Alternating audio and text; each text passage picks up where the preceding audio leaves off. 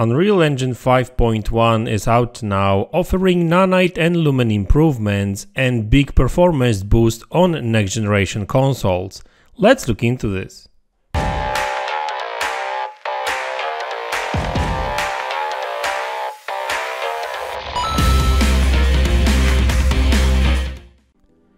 The tech that will power a large portion of next generation games has received a substantial update, as Epic has just rolled out Unreal Engine 5.1.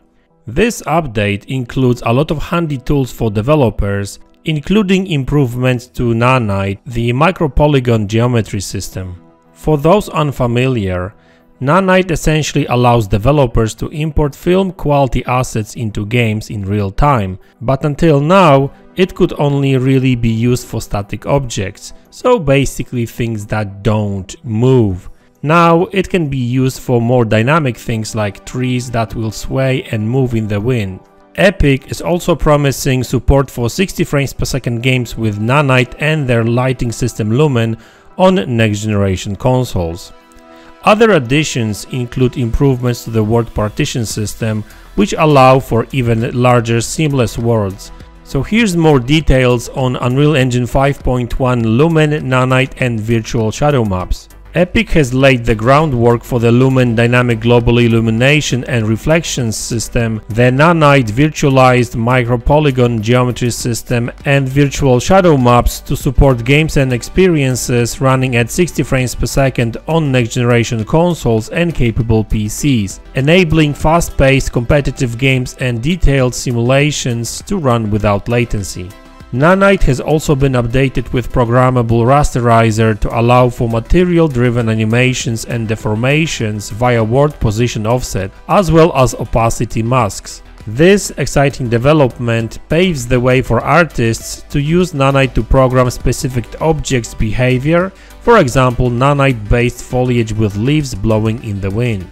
Unreal Engine 5.1 update also brings enhanced world building tools. For example, World Partition now supports large world coordinates, enabling developers to create massive open worlds without loss of precision. Devs can also enjoy accelerated source control workflows with World Partition, thanks to an improved user experience around managing, filtering, searching and viewing files and change lists. Epic has also made it easier to find content in the world from within devs change lists, and vice versa.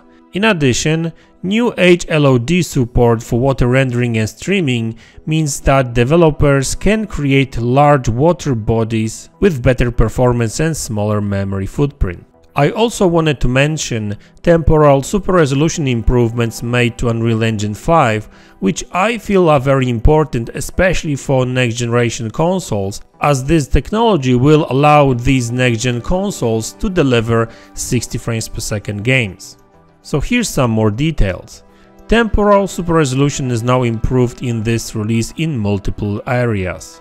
It offers better support for anti-aliasing of animated materials, improved quality and reduced ghosting on translucent geometry or geometry with incorrect motion vectors, better detection of pixel flickering and moire with improved anti-aliasing quality and less ghosting, and of course performance optimizations for 60 frames per second targets, which sure will come in handy on these next generation consoles. So these are some of the most important improvements to Unreal Engine 5 with that 5.1 update. Of course there's even more updates and more improvements to the engine, like some cool machine learning improvements to the engine, but I will cover that in the separate video because it's a huge topic and there's actually quite a lot of to cover. And in this video I really wanted to focus on the most important features of this game engine like Nanite, Lumen, Super Resolution and of course all kinds of optimizations that will allow games running on this engine to run at 60 frames per second on next generation consoles. So guys, that's the video, I hope you enjoyed it, if you did, please make sure you hit the like button subscribe to the channel for more content like this, don't forget to share this video with others on social media, and I will see you all in the next one. Take care!